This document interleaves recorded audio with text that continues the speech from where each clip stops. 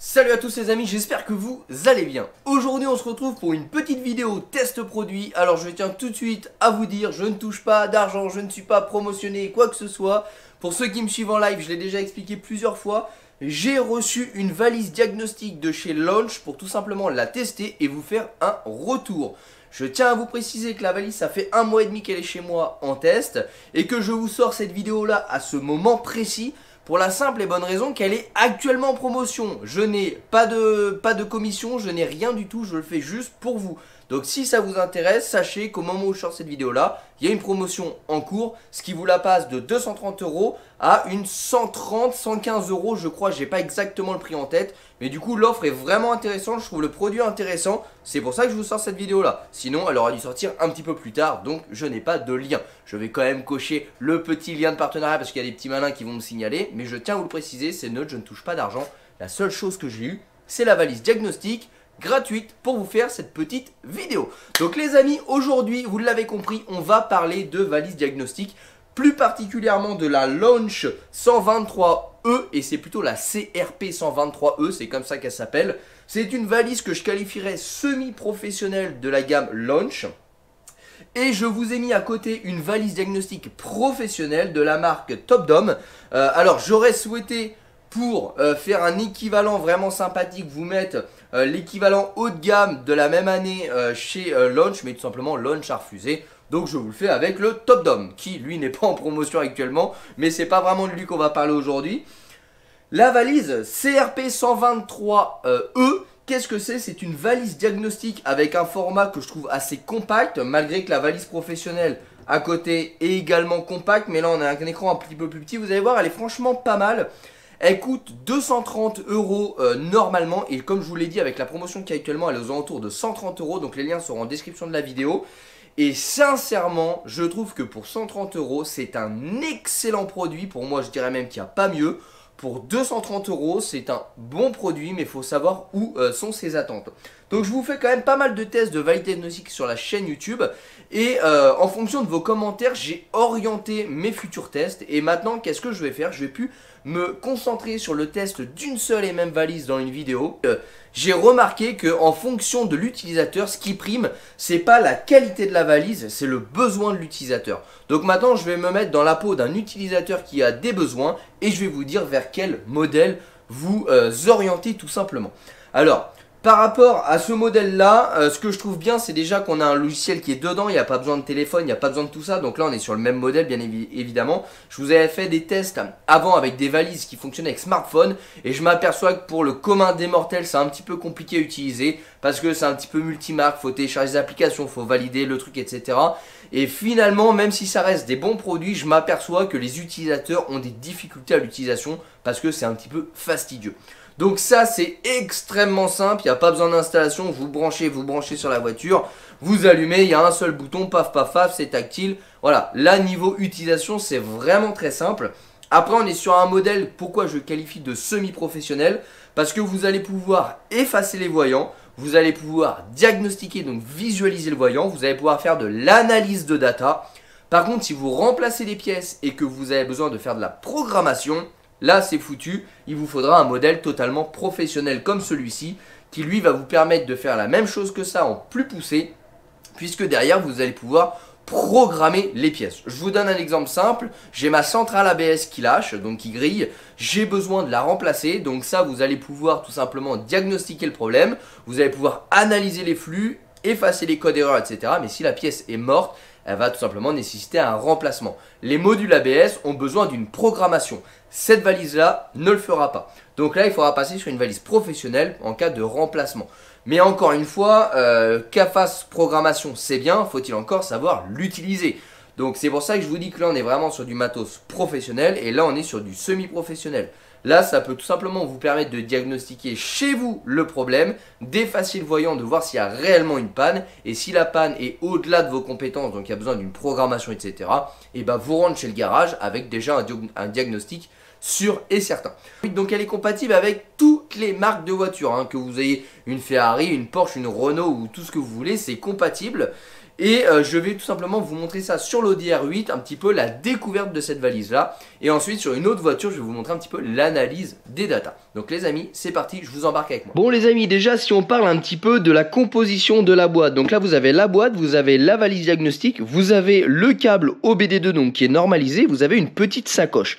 Contrairement à du matériel plus professionnel comme celui-ci où là on va avoir une valise en dur avec tous les adaptateurs nécessaires pour l'intégralité des véhicules OBD1, OBD2 et tout ce que vous souhaitez. Donc là ça ça reste une fois de plus beaucoup plus complet. Celui-ci ce sera compatible avec tous les véhicules normes OBD2. Vous avez qu'un seul câble donc ça côté voiture et ça, côté valise diagnostique. Il faudra rappeler que ça, ce sont des modèles qui fonctionnent en Bluetooth et ça, c'est des modèles qui fonctionnent en filaire. Ça a leur avantage et leur inconvénient. Ça, vous n'êtes pas obligé d'être à côté de la voiture, donc ça, c'est petit côté avantageux. Et l'avantage de celui-ci, c'est qu'en fait, la valise se charge par la valise OBD, enfin par la prise OBD, ce qui fait qu'en fait vous ne tomberez jamais en panne de celle-ci, alors que celle-ci il faudra bien évidemment la charger avant chaque utilisation pour pouvoir l'utiliser correctement. Donc voilà, avantage, inconvénient, mais là on est quand même sur une base de 1200 à 1500 euros, et là on est sur une base de 230 euros actuellement en promotion comme je vous l'ai dit. Donc là si on navigue sur le logiciel, donc là, si on navigue sur le logiciel, vous voyez, on a une interface comme celle-ci où là, on va pouvoir diagnostiquer les véhicules. Donc là, on va rentrer dans le programme du véhicule en fonction du véhicule. Là, on va pouvoir faire de l'analyse OBD2, donc la norme OBD2, donc standard. Ensuite, on va pouvoir réinitialiser tout ce qui va être vidange. On va pouvoir s'occuper de la tension de la batterie. On va pouvoir faire de l'analyse de données. Vous avez bien évidemment les mises à jour. Ça, centres commerciaux et paramètres, on s'en fiche. Ça, c'est juste pour acheter du matériel et ça, c'est pour paramétrer la langue, etc. Ici, on va vraiment avoir quelque chose de beaucoup plus complexe, puisque là, on va pouvoir diagnostiquer en fonction euh, des marques de véhicules, donc tout comme ici. On va pouvoir diagnostiquer de l'OBD2 également. On va avoir des fonctions à distance, donc ça, ça va via, le, votre réseau internet. On va avoir des fonctions spéciales qui vont être beaucoup plus euh, poussées, pas, mais là on va avoir juste la vidange, alors qu'ici on va avoir reset des freins, la vidange, le SAS, donc ça c'est la direction, on a la batterie, on a la purge, on a l'électronique des papillons, on a les TPMS, voilà, on a vraiment tout, on a les régénérations de filtres à particules, etc. Celle-ci ne le permet pas. Donc encore une fois, ici on peut rentrer dans les modules les activer et euh, les programmer. Ici, on va rentrer dans les modules, on va pouvoir analyser, regarder, effacer les voyants, quelquefois activer certains modules, mais en aucun cas on pourra faire de la programmation avec cette valise diagnostique. Donc, il faut bien différencier le besoin qu'on a. Donc les amis, c'est parti. Maintenant que vous savez un petit peu de quoi est composée la boîte, on passe sur la voiture. on se retrouve. Donc là, je branche la, prise directement hein, sur le véhicule. Ici, je branche sur la valise et automatiquement, il recherche le VIN. S'il ne le trouve pas, alors hop, j'éteins le petit flash. S'il ne le trouve pas, tout simplement, il va vous demander de le taper. Sinon, ça, c'est vraiment pour de la recherche automatique. Sinon, vous allez directement dans diagnostiquer. Ensuite, vous avez Audi. Donc là, on va prendre par exemple Audi. Donc là, vous voyez bien, ça charge. Hein. Ça, c'est l'avantage de, de, de, ce qui se passe par câble. C'est l'avantage des connexions par câble, c'est que du coup, ça se charge tout seul. Donc là, vous voyez mes dernières recherches. Voilà, les historiques que j'ai fait notamment. Alors j'espère que vous voyez bien avec la luminosité. Donc là, on peut voir les différentes euh, tests que j'ai fait. Hein. Donc là, vous pouvez faire de l'analyse, vous pouvez enregistrer dessus, il y a de la mémoire. Donc vous pouvez faire des, enregistrements, par exemple, de son lambda, etc. Ce qui vous permet après de pouvoir faire le avant-après. Donc ça, c'est pas mal aussi. Donc là voilà, je fais une recherche en tapant, je vais sur Audi, tac, il faudra bien évidemment que je mette le contact du véhicule. J'arrive sur les Audi, et là je vais pouvoir retrouver mon véhicule et pouvoir rentrer dedans. Donc là après on arrive ici et là je peux faire tout simplement euh, soit un test rapide, soit un balayage du système, soit une sélection du système. Donc ça veut dire quoi? Test rapide, ça veut dire il va tout tester, balayage du système, il va tout tester, il va rentrer dedans. Et sélection du système, bah, je vais aller manuellement dedans. Donc vous voyez, vous avez accès à l'électronique moteur, l'électronique de la boîte de vitesse, électronique de frein, capteur d'angle de braquage, etc. Mais vous ne pouvez, encore une fois, j'insiste pas, programmer avec cette valise-là. Donc si par exemple vous changez le capteur d'angle de braquage du volant, et bah avec la valise pro vous allez pouvoir le changer, le reprogrammer. Avec celle-ci vous allez pouvoir uniquement diagnostiquer qu'il est en panne, le remettre à zéro, mais vous n'allez pas pouvoir faire de programmation dessus. J'insiste là-dessus. Donc encore une fois, ça dépend vraiment de l'utilisation que vous souhaitez en faire. Si vous c'est juste du visuel, de la détection de panne, de l'assistance, de l'effacement de voyants, alors elle est faite pour vous. Si vous êtes vraiment dans la mécanique pure, changement de module, euh, réinitialisation, programmation de la voiture et tout, alors elle n'est pas faite pour vous. Là par exemple j'ai fait une analyse complète du véhicule donc vous voyez elle a, vérifié l'électronique moteur, l'électronique de boîte de vitesse, l'électronique de frein, euh, électronique moteur 2, sac gonflable donc c'est les airbags, l'électronique de cône de direction, aide au stationnement etc. Donc là elle est rentrée dans tous les modules et je n'ai pas de code erreur. Maintenant donc là, je peux quitter et je peux rentrer précisément dans, un module. Donc par exemple, électronique de boîte de vitesse. Là, il va rentrer dedans manuellement et après je vais pouvoir aller naviguer. Donc là vous voyez par exemple on peut arriver dans la boîte de vitesse, donc là je peux faire information de la version, donc là je vais avoir les numéros de boîte etc, lire les codes, effacer les codes erreurs de la boîte, lire les flux de données, mais par contre je ne pourrais pas faire de l'action, je ne pourrais pas euh, tout simplement activer la vitesse 1, 2, 3, 4 comme je pourrais le faire avec une valise professionnelle, celle-ci va faire de la lecture uniquement. Donc là, vous voyez, je peux vérifier si le bouton sport fonctionne. Euh, j'ai vraiment accès à tout. Hein. Je peux voir euh, l'état d'usure de l'embrayage. Donc c'est vraiment extrêmement complet. On n'a pas de, restrictions euh, liées à la qualité de la valise. Franchement, c'est un très bon produit. On peut accéder à tout. Encore une fois, je le dis et je le répète, on ne peut pas programmer. Si demain vous changez le module de boîte de vitesse, c'est pas cette valise-là qu'il vous faudra, c'est vraiment une valise professionnelle comme on a sur l'autre qui va vous permettre de réinjecter un programme dedans. Celle-ci va vous permettre d'analyser la boîte, d'analyser des usures de fourchette, d'analyser des, usures d'embrayage. Mais voilà, on n'est pas dans la programmation, on est sur du visuel, du diagnostic, de l'effacement de code erreur. Mais ça reste pour moi un excellent produit, surtout avec la promotion actuelle. Donc là, voilà, encore une fois, vous pouvez vraiment aller partout, c'est vraiment extrêmement complet. Donc maintenant, on va aller tout simplement brancher la valise sur un autre véhicule un petit peu plus monsieur tout le monde, donc la voiture de madame, ce qui va tout simplement me permettre de faire de l'analyse de données, puisque là, si je le fais sur la R8, vous allez avoir ban 1, ban 2, etc. Les gens vont me dire, ouais, c'est bien, mais en fait, moi, j'ai pas tout ça sur ma voiture, donc comme ça, vous allez pouvoir vous identifier un petit peu. Et puis, euh, bah, ça m'évite tout simplement de démarrer l'Audi R8 pour rien, parce que vous le savez, je suis un petit peu maniaque quand même, j'aime pas trop démarrer les véhicules pour rien. Mais au moins, je voulais vous montrer qu'on peut se brancher, même sur des supercars, que ça fonctionne. La valise pas de limite de marque, de limite de gamme de véhicules. Elle est compatible avec tous les véhicules de toutes les marques. Donc les amis, c'est parti. On va voir un petit peu de l'analyse de données sur une voiture lambda. Bon et eh bien ça y est, on se retrouve dans la voiture de madame, donc voiture de monsieur tout le monde, pas de choses particulières, c'est pas une supercar, c'est pas une marque de fou, donc c'est pour vous montrer un petit peu ce que ça donne. Donc là vous la branchez, vous voyez directement elle vous trouve le VIN avec le modèle de véhicule, vous faites OK. Et là, va faire directement une analyse de tout le véhicule. Donc comme ça, vous êtes peinard. Ça, c'est ce qui a fait automatiquement. Donc euh, voilà, elle part comme ça. Après, vous pouvez annuler et faire une recherche manuelle pour gagner du temps si vous souhaitez bien évidemment euh, pas faire tout ça. Donc là, voilà, elle va scanner l'intégralité du véhicule et normalement, voilà, elle vous sort un rapport que vous pouvez imprimer, enregistrer sur la tablette ou quoi que ce soit. Donc c'est bien aussi si vous voulez aller voir votre garagiste pour faire changer un module, bah, vous lui imprimez le rapport et au moins il sait pertinemment quel a été le problème. Bon là, la voiture est neuve, forcément, il n'y a pas de problème. Mais voilà un petit peu les petites euh, choses qu'elle peut faire. Maintenant, ce que je voulais vous montrer, c'était surtout de l'analyse de data. Donc là, on va aller par exemple sur le moteur. Donc là, il me dit mettre le contact en on, ok, pas de souci. Euh, alors là, il y a plusieurs types possibles. Lequel ça va être? On va aller voir tout simplement. Euh, donc, euh, on va aller voir par exemple les sons de lambda. vous voyez, vous pouvez voir le start and stop, les roulages, les derniers kilomètres. Donc ça, encore une fois, ça dépend vraiment des voitures. Hein. Chaque voiture laisse des possibilités d'accès. C'est pas parce que là, on l'a sur cette voiture-là qu'on l'aura sur d'autres. Par exemple, ce genre de choses, je ne l'ai pas sur l'Audi R8. Donc euh, là, encore une fois, c'est propre au véhicule. Donc là, vous voyez, des modules, elle n'est pas équipée. Hein. Donc euh, là, en l'occurrence, c'est le cas. Voilà, donc là, on peut aller voir là, il n'y a pas de code erreur. On peut aller voir de la lecture donnée et là on peut voir le mélange, l'allumage, le circuit d'air, le couple moteur, la conduite, environnement moteur, etc. Anti-démarrage. Donc là on va démarrer la voiture. Voilà. Et là on va aller voir par exemple le mélange et là, on va pouvoir lire les cycles de temps d'injecteur. Donc 1, 2, 3, 4, 5. On va pouvoir normalement... Ah oui, 1, 2, 3. Bah oui, avec 3 cylindres là-dessus, forcément. Moi, j'en cherche qui n'existent pas. Après, on va voir les facteurs de, de, correction. On peut voir les réglages de la sonde en amont. Euh, le régime moteur, température de liquide de refroidissement. Donc on a quand même accès à tout. Hein.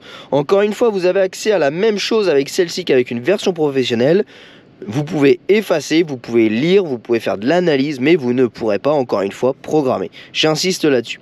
Donc là, je vous affiche des choses. Donc là, par exemple, on a les temps d'injecteur. Donc là, on voit que forcément, la voiture est neuve, donc les temps sont tous pareils. On sait que le circuit de carburant est en boucle fermée. On a le régime moteur.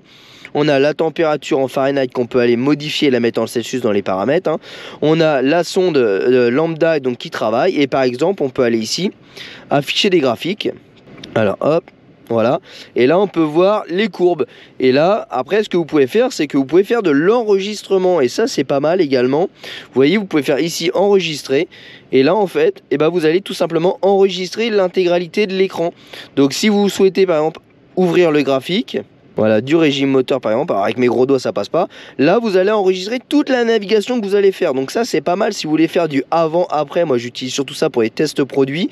Mais si par exemple vous êtes sur la route et que vous ne pouvez pas regarder euh, la valise parce que tout simplement vous conduisez, ce qui semble logique, et eh ben vous lancez l'enregistrement de ce que vous voulez vérifier et vous allez voir à quel moment, en quelles circonstances votre problème est arrivé. Je sais pas par exemple votre moteur tourne pas, vous allez mettre les corrections de carburant. Donc là, je ne sais pas si je les ai affichés. Bon, admettons que ça, c'est une correction de carburant. Vous allez mettre ça, vous allez rouler. Et finalement, vous allez voir à quel moment la correction de carburant est partie en cacahuète. Ce qui va vous permettre ensuite de pouvoir orienter votre diagnostic. Donc là, je ne vais pas enregistrer pour rien. Voilà, donc moi je fais annuler.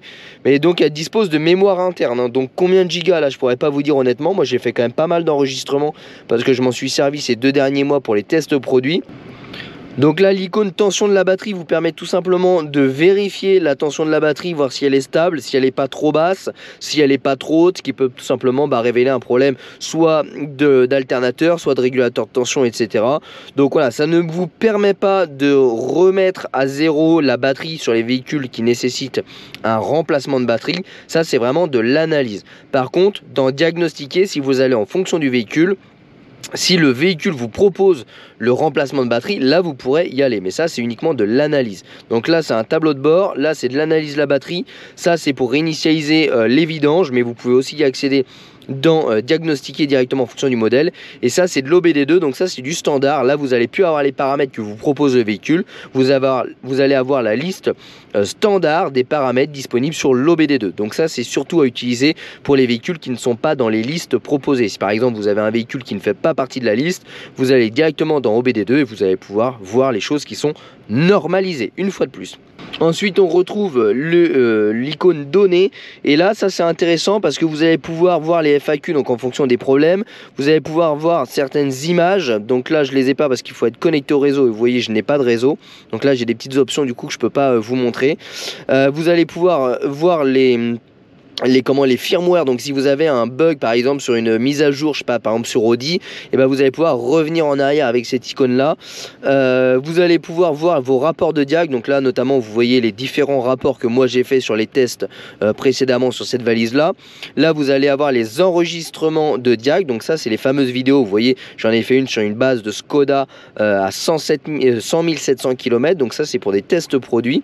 Donc vous voyez c'est vraiment pas mal. Et là vous avez la bibliothèque de DTC donc si vous avez par exemple l'erreur euh, P 400, euh, euh, je sais pas, je vous en mets une au hasard, 400, donc 4110, et vous ne savez pas ce que c'est, bah, plutôt que d'aller prendre votre téléphone, aller voir sur internet, vous allez dans la bibliothèque, vous faites oui, et là forcément je fais un code qui n'existe pas, donc on va prendre le P0110, et là voilà, il vous dit que c'est la sonde température d'air d'admission, panne du circuit, et après vous avez une petite explication du problème que ça peut être en anglais, donc là encore une fois, faudra traduire, mais au moins en français, vous avez euh, à quoi correspond le code erreur. Donc ça, c'est pas mal également, plutôt que de faire une recherche sur un autre support, vous avez tout directement sur cette valise-là. Et encore une fois, comme je vous l'ai dit, si ça nécessite pas de programmation, cette valise-là fait 100% le taf. Donc moi, plutôt que de me trimballer la mallette, etc., ces derniers temps, j'avais mis ça dans ma voiture, ce qui me permettait de pouvoir le faire sur les voitures des parents, des beaux-parents, euh, euh, des copains, etc., et de pouvoir bah, tester au maximum un petit peu les fonctions de cette valise-là. Et franchement, j'en suis content. Donc les amis, on retourne au garage. Maintenant que je vous ai montré un petit peu les possibilités de cette valise-là et les navigations, et on va voir un petit peu la conclusion. Bon, et bien les amis, ça y est, on se retrouve dans le garage pour conclure un petit peu cette vidéo. Alors c'est difficile de vous montrer toutes les options de la valise, bien évidemment puisque euh, moi je l'ai testé sur différents mois, sur différentes utilisations, j'ai vraiment vu un petit peu ses limites. Euh, maintenant vous faire une vidéo ça pourrait durer des heures, hein. vous voyez elle est quand même assez complète. Maintenant je vais quand même revenir sur l'aspect solidité de la valise. Moi, je trouve que ça respire quand même la qualité. On a quelque chose de costaud. On a une petite, euh, je dirais un petit rembourrage rouge autour en cas de chute.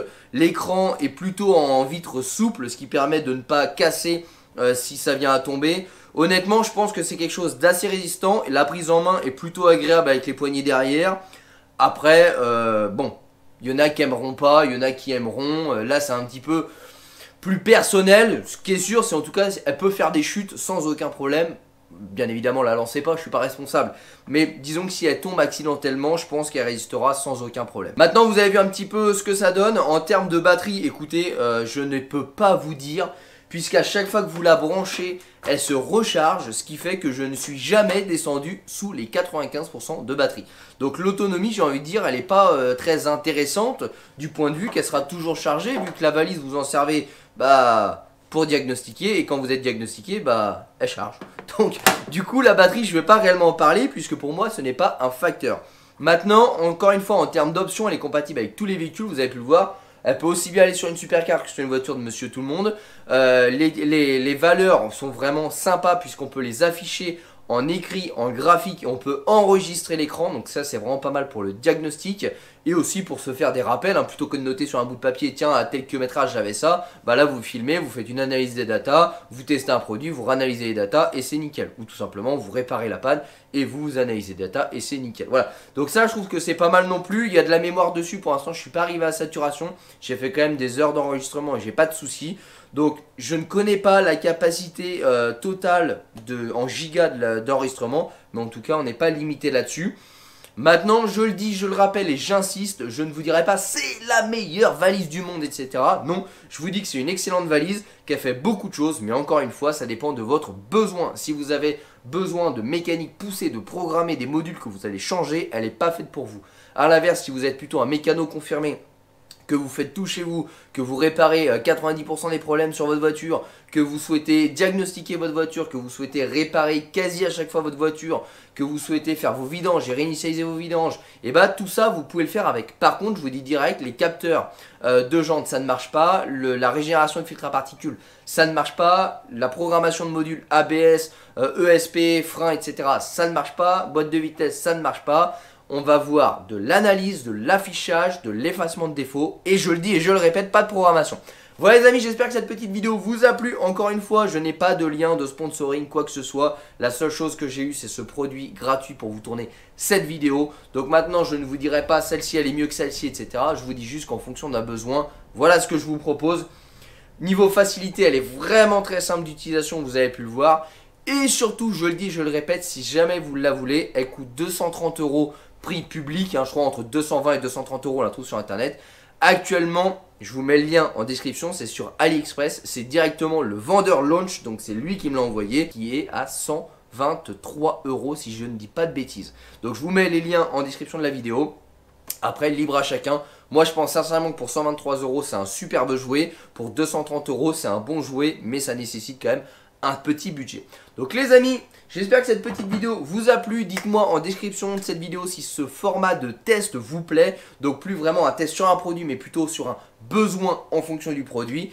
Et voilà, j'essaie de m'inspirer au maximum de vos retours pour pouvoir améliorer les tests produits et pour vous les rendre un petit peu plus vivants.